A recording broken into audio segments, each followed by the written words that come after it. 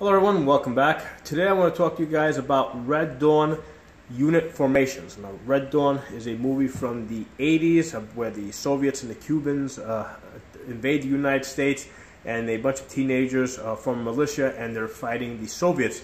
Um, so I did, uh, I've done uh, two prior videos on this subject. It's, it's a fun subject, so uh, I'm going to continue it just for entertainment purposes. Um, so the idea here is that we have a militia of untrained people, okay? Um, and in the prior video, okay, where I talked about the L ambush, I talked about how the tactics would have to be very simple uh, for because they're being executed by untrained people. People have very minimal training, and if the tactics become too complicated, uh, they're not going to be able to execute them. Uh, they're probably going to get lost in the woods. Uh, there's a good chance they're going to accidentally start shooting at each other. Okay, so what I want to talk about here is different types of formations. Uh, not necessarily because our militia uh, would be using these, but we want to be aware of what the Soviets would be using, um, and we want to know the, the strengths and the weaknesses of those uh, of those uh, formations and tactics that they might use. Okay, so uh, over here I have the L ambush. That's the one that I recommended last time. Where basically, uh, you know, we form an L. Okay, uh, and the strength of this is that you know we have one side firing forward in this direction, and the other side is firing in that direction. Um, and there's it minimizes the chance of our men shooting each other. Okay, so this is a relatively safe tactic. Uh, it is a tactic where basically you are stationary. You know, you pick a spot where you expect the uh, enemy to come through and you ambush them. Um, and in the in the last video, I recommended to limit it, limit it to two minutes or one 30 round magazine. Okay, because after two minutes, um, you get you get diminishing returns. Um, the Soviets will have found positions of cover. Right, they're going to start returning fire from behind cover. And uh, what's also going to happen is they're going to start calling in air support. They're going to, you know, they're going to set up their mortar unit. They're going to start mortaring you. And untrained people, okay, um, or people have rather people have very minimal training, might be really good at shooting, but they're not really good at taking fire. And When they start taking fire, uh, they start panicking and they start doing weird things that you don't expect. Okay, so so we want to limit our our attack on the Soviets to two minutes or one 30 round magazine, and then pull back to a uh, a uh, a fallback position, right? Uh, just to regroup ourselves, uh, make sure that we're not being fouled, and then from there, you know, continue to fall back to another uh, position. So that's our L ambush. If you guys haven't seen that video, look it up. Um, you'll get a lot more detail than what I just gave you. Okay. Um, now I want to discuss here the pincer movement. Okay.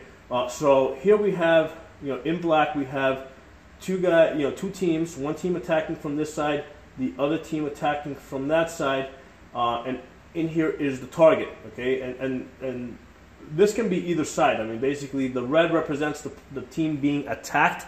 Um, most likely, it will be Soviets. Okay, most likely these will be the Soviets attacking us over here. Okay, this is where we don't want to be.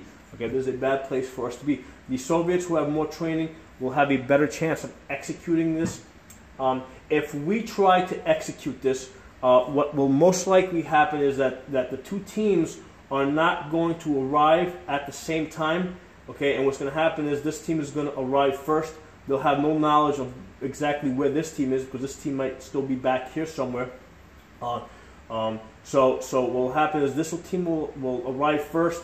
They'll commence the attack, and they will be great. They'll be outnumbered, okay, because they're attacking with half a team. Okay, so so this the Soviets in here will basically knock this team out, and then this team will arrive late. They'll start getting into a fight. By that point, our team has already been eliminated on this side, so now the Soviets are going to turn their full force to this team over here and eliminate that. So um, this is why it's not a good idea if you have, um, you know, if you have untrained people in a militia, you don't want to do pincer movements. Okay, it, it's great on paper. Um, it's great if you have professional soldiers that are trained that have communications.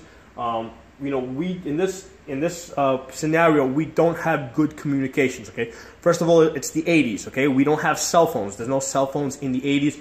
Uh, walkie-talkies, those interceptions can be um, uh, can be intercepted, um, and even if we do have something more advanced, that can also be intercepted. Uh, and you know, I mean, even in the modern day scenario, I mean, cell phones uh, basically are, are, are, bugging devices. They can track, you know, cell phones can be tracked. So, so uh, we would basically have to get rid of any modern electronic equipment. Okay, but back in the 80s, these guys definitely don't have any cell phones, so they're not going to be able to communicate with each other. So, so, so it's it's highly unlikely that they're both going to arrive at, at the spot that they're supposed to be at at the time that they're supposed to be at um, and execute this um, the way they're supposed to. Okay, most likely, um, you know, either either one or both of these two units will get lost. Okay, uh, and then they will get outnumbered. Um, and it's just going to become a disaster. So we want to keep our team together, and we would prefer to attack in an L ambush where we bring, where we allow the enemy to come to us, Okay, and then the commander makes a decision if he wants to engage once he sees the enemy. If he doesn't, if he decides that he's outnumbered or if the situation doesn't look right, you know, he's a, he's in a position to get the entire unit out there. Okay, and you know all the men in that in that scenario are going to be within visual range of each other, so we're able to get our entire team out of there. In this type of situation, if the commander sees something that he doesn't like, like for example that he sees artillery or something, he's not going to be able to get information to the other side to get out of there. So so th this is a disaster. You want to keep your unit together, um, you know, get them in together, get them out together, have a fallback position. Okay, so I want to talk about some other um, uh, formations that we are likely to see. Uh, you know, most likely out of the Soviets, but we might also be able to make use of some of these. Um, the, you know, the first one's a line formation. Okay, so basically, you know, they're attacking forward. Okay, so they're attacking in that direction. Okay, uh, and basically, you know, in this in this particular case, I have four four unit, four men four men unit. They're all attacking forward. All guns are able to attack in a forward direction, um, but it's very difficult for them to attack to the sides because basically, you know, if they, let's say they're attacked on this side, well, only this man can really attack to this side because these three guys would be firing at the man in front of them. So a line formation is very strong attacking forward uh, but is very weak on the sides. Um, you know, they, they really, you know, you know, only one gun can really fire to the sides. Okay, so so that's a line formation. Um, the other formation is a single column. Okay, that's where you basically you have all your men one right behind the other.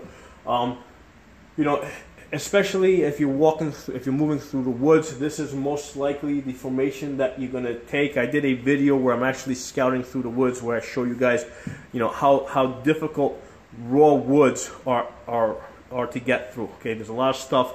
Uh, there's a lot of obstacles, a lot of fallen trees, a lot of, lots of tree branches. Um, you know, most likely you're going to be moving through the woods uh, in a single column, and your men are going to be not necessarily one right behind the other, but within visual range. Okay. Um, Another reason why a single formation would be used is, let's say, through a minefield or something like that, where the first guy is basically, you know, checking for any, um, you know, for mines, and then everybody's basically following right behind him in his footsteps. Uh, the weakness to this is if you are basically attacked from the front. Um, so in this case, let's say we're moving in in that direction. Okay, if you if you're attacked from the front, only the the first man has a a clear line of fire. The guys in the back more or less have to, you know. Uh, fire through the guys in front of them in order to, to, to fire forward. Okay, so so um, you know it's dangerous firing forward. Now, a well-trained um, you know professional army, yeah, they know you know to, to, you know they're going to immediately jump to the side, so they're not one right behind the other. But um, you know people with very little training. Um, you know, who start taking fire, there's a good chance that they're going to panic and just going to open up. You know, the guy in the back's just going to open up and he's just going to start you know, firing through whoever is in front of them. So, so that's one of the things to be aware with uh, with a column. Okay, that's the vulnerability. Okay, the other thing that we have is a a, a, a double column, or two column, where your men are like side by side like that. Kind of, you know, so again, we're moving forward. Okay, it, in this type of a situation, um, you know, it's a little bit better because at least you have two guys that have a clear view ahead of them, and then the guys behind are the only ones that we need to move to the sides if they started taking fire from the front. Okay, so so this is a two column. This is typically what you will see like uh like if you look at um, um, you know footage from like Afghanistan where they're moving down you know through a street. Okay, you'll you'll see them on you'll see this type of formation uh, through the street. So they'll move down the street, one column on one side of the street, the other column on the other side of the street. So so that's the two column formation. Um, and um, you know, and, and the benefit is that you have at any time you have two guys that can fire in any direction. These two guys can fire forward. These two guys can fire that way. These two guys can fire that way. And these two guys can fire back. Uh, and there's a minimal movement that you have to make in order to um, um, you know to open up the line. So whereas here you got to move three men, here you only got to move two men. Okay. Um, the other formation, uh, one of the most common, is the wedge formation. Okay, now uh, this, this, is the wedge formation. It's also the V formation. If you're moving forward, okay, it's a wedge. Okay, so if they're moving in that direction, going that way, that's a wedge. If they're moving backwards, right, okay, in this direction, so you got the commander back here, and then you know if they're moving in this direction, um, that's that's a V formation. Okay, um, this is very common, especially in in open fields, uh, because it you know, the way it's kind of staggered, you have everybody can fire uh, forward, everybody can fire back, okay, uh, and and the way it's staggered, pretty much everybody can fire uh, to either right or left because this guy is kind of in between these two guys. Uh, there's only one angle that, that, that they can't fire. So basically, this guy and this guy, you know, they can't fire in that direction. So they can't fire in this line. Okay, this guy can't fire in this line. So the limitations are less um, but the avenues are, of attack are more. So this is something that you're going to see a lot in professional armies. Okay, they're going to be moving uh, either in a wedge formation forward or in a V formation, which is the same thing. You know, if they're moving downwards in this direction. Okay, so so these are the typical formations that you will see. Their strengths and weaknesses. Um, so if you guys uh, have any uh, comments to make uh, about this movie that we're talking about, please post something in the comments section. Uh, I look forward to hearing from you guys. You know, share this video if you guys like it. I'll talk to you guys next time. Hey guys, uh, real quick, I wanted to add one more unit that I forgot. Uh, it's pretty important. Uh, it's echelon. Uh, echelon is basically a slant.